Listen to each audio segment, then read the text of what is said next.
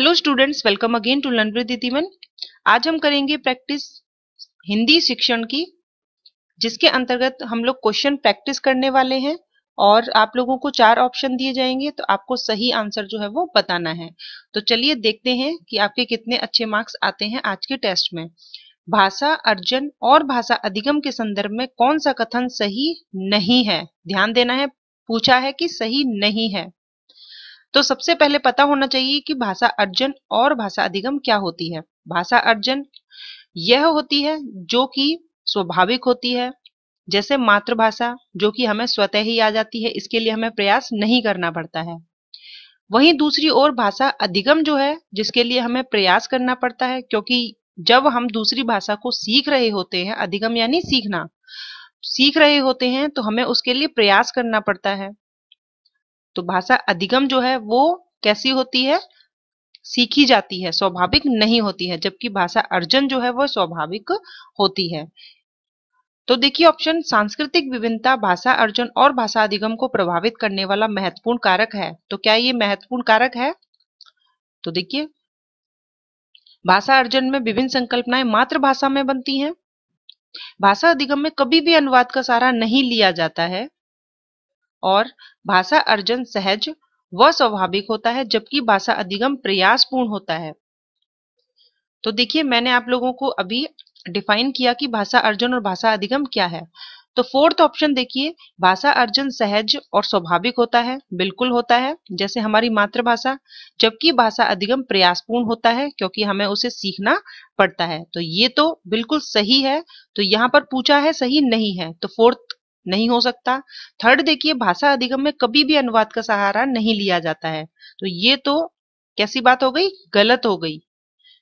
तो ये जो है, भाषा अधिगम के बारे में गलत है, क्योंकि सेकंड लैंग्वेज को, दूसरी भाषा को सीखने के लिए हमें अनुवाद का सहारा लेना पड़ता है। जैसे हम इंग्लिश सीखना चाहते हैं तो हमें हिंदी का सहारा लेना पड़ता है। तो ये बात जो है वो गलत है।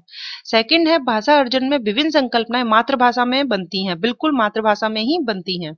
और सांस्कृतिक विभिन्नता जो है, वो भाषा अर्जन में भी और भाषा अधिगम, इनको प्रभावित करने वाला महत्वपूर्ण कारक है।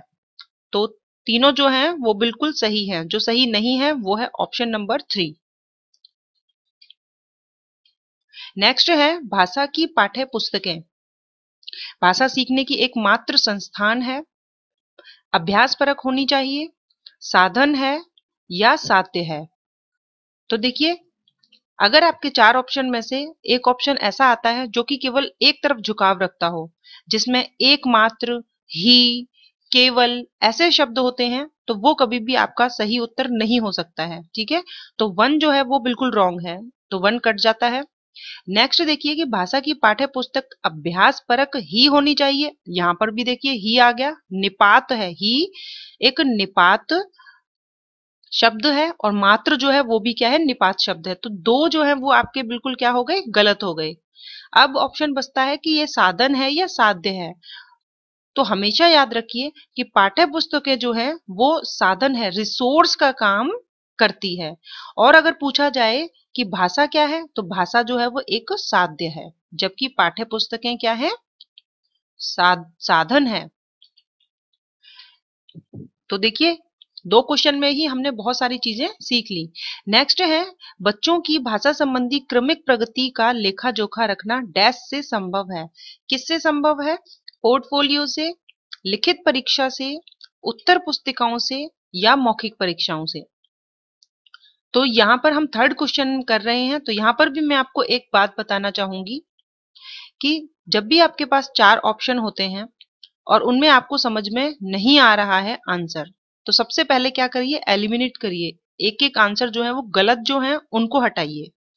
तो सही उत्तर जो है वो आपको मिल जाएगा। अब देखिए, बच्चों की भाषा संबंधी जो क्रमिक प्रगति है, लगातार प्रगति है तो उसका लेखा जोखा रखना क्या मौखिक परीक्षा से संभव है? क्रमिक प्रगति का लेखा जोखा मौखिक परीक्षा से रख सकते हैं? नहीं रख पाएँगे। मौखिक परीक्षा से तो हम केवल एक दिन या दो दिन का ही रख पाएँगे लेखा जोखा ठीक है, और यहाँ पर लेखा जोखा की बात हो रही है जो कि मौखिक परीक्षा से संबंधित ही नहीं है। उत्तर पुस्तिकाओं से ये भी नहीं होगा आंसर, और लिखित परीक्षाओं से भी हम क्रमिक प्रगति का लेखा जोखा नहीं रख पाएँगे। किसका? भाषा का। आंसर होगा पोर्टफोलियो, ठीक है? पोर्टफोलियो के लिए आपको हमेशा याद रखना है, आपको मिलेगा क्रमिक प्रगति। क्रमिक प्रगति का लेखा जोखा है, वो पोर्टफोलियो में रखा जाता है। नेक्स्ट है क्वेश्चन फोर भाषा अर्जन में महत्वपूर्ण है। भाषा की विभिन्न रूपों का प्रयोग, भाषा का व्याकरण पाठ्य पुस्तकें और भाषा का शिक्षक। तो देखिए, यहाँ पर आपका आंसर वो क्या होगा? जो सेकंड ऑप्शन है, भाषा का व्याकरण। ये तो भाषा अर्जन में होता ही नहीं है। ये कहाँ होता है? भाषा अधिगम में, ठीक है? मातृभाषा में हम व्याकरण संबंधी चीज़ों को लेकर नहीं चलते हैं। भाषा अर्जन में पाठ्य पुस्तकें जो है, उनका भी कोई रोल नहीं है। और भाषा का शिक्षक। तो यहाँ पर भाषा का शिक्षक जो है, वो भाषा अधिगम में महत्वपूर्ण होगा। तो ऑप्शन एक ही बच रहा है। भाषा के विभिन्न रूपों का प्रयोग, जितना ज़्यादा यूज़ करेंगे हम भाषा को तो वहाँ पर भाषा अर्जन जो है वो महत्वपूर्ण होगी। जितना ज़्यादा ज़्यादा हम एक दूसरे से बातचीत करेंगे, विचार विमर्श करेंगे तो उतनी ज़्यादा हम भाषा क्या करेंगे? अर्जित करेंगे, अर्जन करेंगे। चलिए नेक्स्ट देखते हैं क्वेश्चन फाइव बहुभाषिक यानी बहुत सारी भाषाएँ एवं बहुसांस्कृतिक यानी बहुत सारी संस्कृति। कक्षा में अगर हो तो बच्चों की मातृभाषा को समुचित सम्मान, स्थान देते हुए मानक भाषा से परिचय कराना चाहिए। बच्चों को केवल, क्या आ गया यहाँ? केवल। केवल मानक भाषा के प्रयोग के लिए पुरस्कृत करना चाहिए। तो ये तो आप देखकर ही गलत कर लें। बच्चों की मातृभाषा का प्रयोग वर्जित होना चाहिए। अब देखिए कितनी गलत बात है। बच्चों को मातृभाषा का प्रयोग जो है वो वर्जित होना चाहिए। ऐसी बात जो है वो बिल्कुल ही गलत होती है। नेक्स्ट है, बच्चों की मातृभाषा का ही सदैव प्रयोग करना चाहिए। अब हमेशा ही मातृभाषा का प्रयोग करना चाहिए। तो बच्चा दूसरी भाषा को कैसे सीखेगा, कैसे अधिगम करेगा? तो तीनों ही गलत हुए। आंसर क्या रहेगा? कि जहाँ पर बहुत सारी भाषाएँ हैं, बहुत सारी संस्कृति के बच्चे जो हैं वो क्लास में आए हैं तो सभी अपनी अपनी भाषा लेकर आए होंगे अलग अलग संस्कृति से आए हैं तो उनको भी सम्मान देना है, उनकी भाषा को, उनकी संस्कृति को सम्मान देना है और उसके बाद मानक भाषा से भी परिचित कराना है तो ये एक शिक्षक का दायित्व होता है। नेक्स्ट है सिक्स क्वेश्चन भाषा के व्याकरण की समझ को केवल लघुत्तर प्रश्नों के माध्यम से आंका जाना चाहिए, निबंधात्मक प्रश्नों के माध्यम से आंका जाना चाहिए, संदर्भ परक प्रश्नों के माध्यम से आंका जाना चाहिए या केवल वस्तुनिष्ठ प्रश्नों के माध्यम से आंका जाना चाहिए। तो यहाँ पर देखिए, जो फ़र्स्ट ऑप्शन है, वहाँ पर एक तरफ़ झुकाव की बात कर रहा है, इसको बिल्कुल देखते ही गलत कर लें आप। थर्ड फोर्थ देखिए, इसमें भी केवल शब्द आ गया है और ये केवल वस्तुनिष्ठ प्रश्नों की बात कर रहा है। सेकंड ऑप्शन है, वहाँ पर भी आपके केवल ही मात्र ऐसे शब्द तो नहीं है, लेकिन यहाँ पर भी निबंधात्मक प्रश्नों के की बात कर रहा है, ठीक है? केवल निबंधात्मक प्रश्नों की।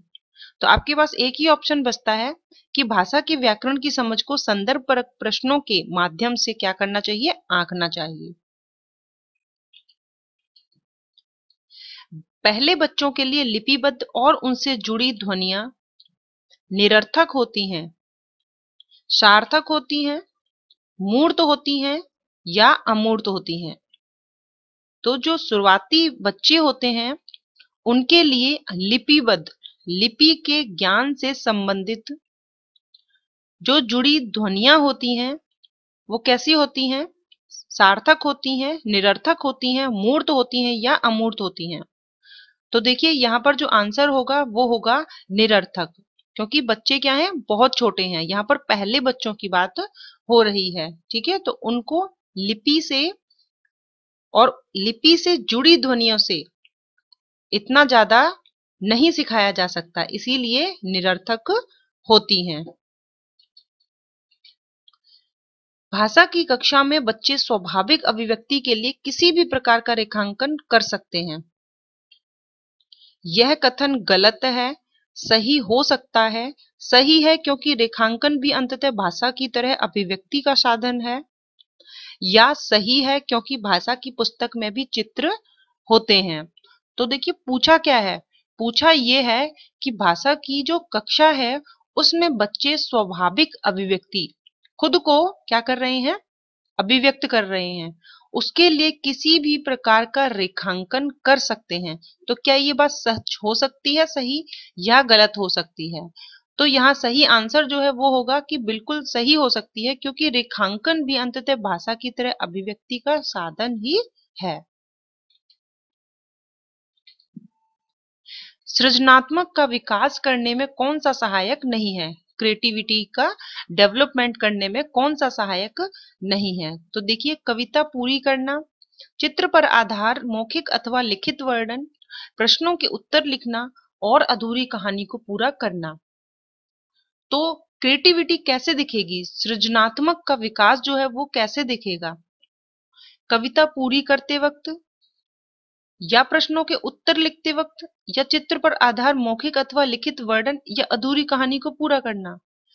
तो जो क्रिएटिविटी होगी, वो कैसे होगी? वो होगी जब अधूरी कहानी को पूरा करेंगे। अच्छा यहाँ पर मैंने नहीं शब्द जो है वो नहीं पढ़ा, देखिए। जब अधूरी कहानी को पूरा करेंगे तो क्रिएटिविटी का विकास होगा, सृजनात्मक का विकास होगा। कविता पूरी करना यहाँ पर भी होगा। चित्र पर आधार मौखिक और लिखित वर्णन। चित्र बने हुए हैं। उनके आधार पर यदि मौखिक और लिखित वर्णन किया जाता है, तब भी कुछ नई चीज़ें जो है वो सामने आती हैं। लेकिन प्रश्नों के उत्तर लिखना, यहाँ पर कोई भी सृजन नहीं हो रहा है, कोई भी सृजनात्मक का विकास नहीं हो रहा है, ठीक है? यहाँ पर तो जो प्रश्न है, उसका उत्तर ही लिखा जा रहा है। तो ये सृजनात्मक का विकास नहीं करेगा प्रश्नों के उत्तर लिखना।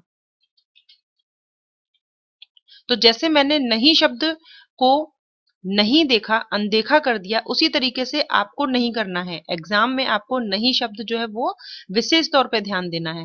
हिंदी भाषा शिक्षण का एक मुख्य उद्देश्य है।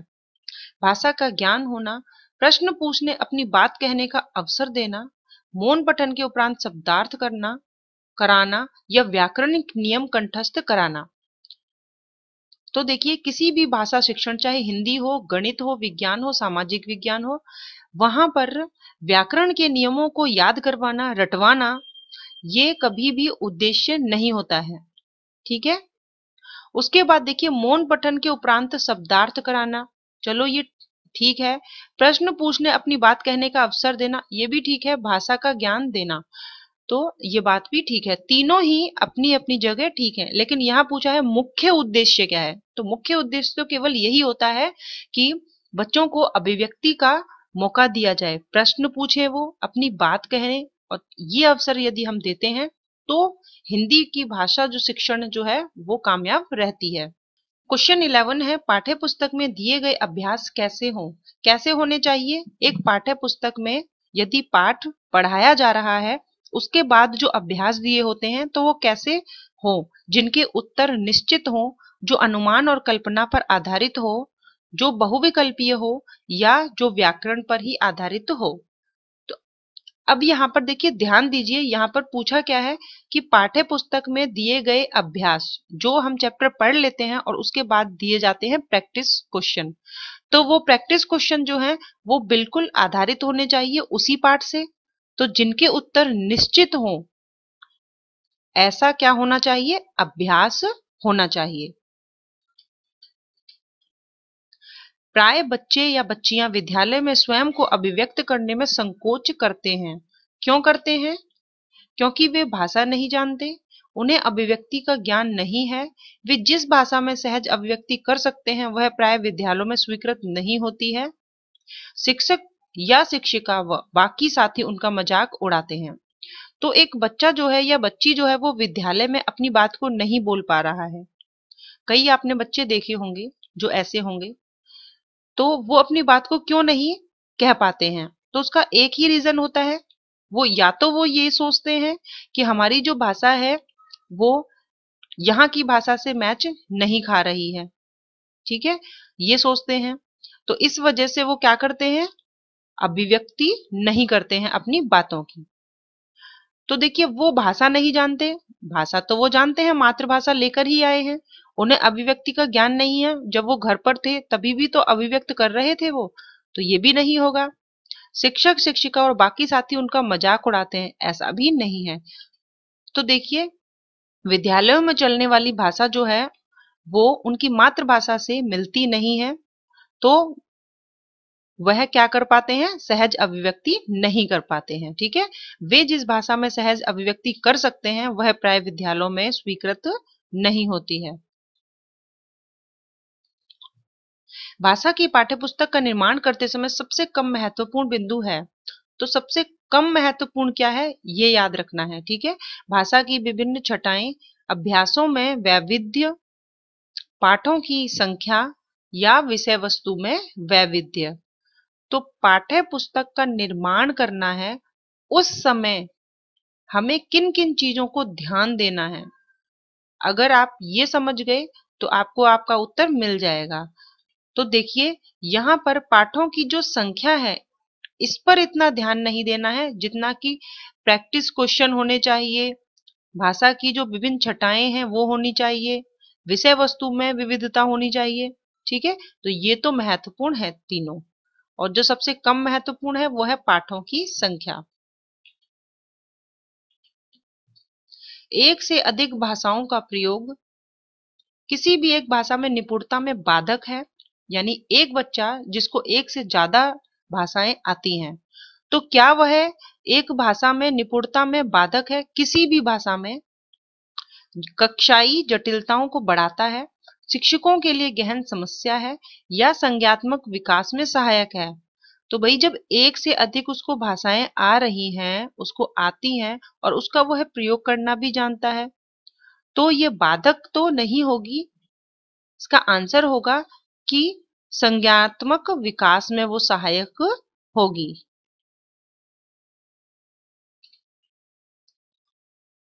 हिंदी भाषा का मूल्यांकन करते समय आप सबसे ज़्यादा किसे महत्व देंगे? हिंदी भाषा का मूल्यांकन करते समय आप सबसे ज़्यादा किसे महत्व देंगे? व्याकरणिक नियमों को, सीखने की क्षमता के आकलन को, काव्य सौंदर्य को या निबंध लिखने की योग्यता को? तो यहाँ पर एक चीज़ को देखिए, यहाँ पर सीखने की क्षमता, सीखने की कितनी कैपेसिटी है? इसका आकलन जो है उस पर सबसे ज़्यादा महत्व दिया जाएगा जब मूल्यांकन किया जाएगा, क्योंकि मूल्यांकन का ही एक छोटा भाग है आकलन। आकलन क्या है? आकलन जो है वो एक पहला पद है मूल्यांकन से पहले का। तो इन पंद्रह क्वेश्चन में से आप लोगों के कितने सही हुए हैं, ये आपको बताना है। और आपको कितने अच्छे तरीके से हिंदी शिक्षण के प्रश्न समझ में आए हैं, ये भी आपको बताना है। तो मुझे ऐसा लगता है कि पंद्रह क्वेश्चन आपने किए हैं, लेकिन आपने कंसेप्ट जो है वो भी सीखा है। तो बहुत सारे क्वेश्चन जो है, समझ लीजिए कि आप लोगों ने किए हैं। इसी तरीके से प्रैक्टिस करते रहेंगे। मिलते हैं नेक्स्ट वीडियो में। Thank you